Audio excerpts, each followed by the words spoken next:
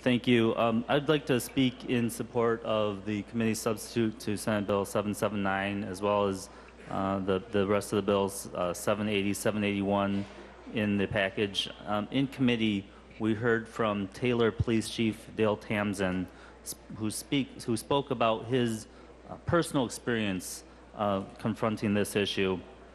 Um, and so this three bill package would address these situations. Um, it is something that does happen. It does present dangerous situations to our law enforcement uh, community.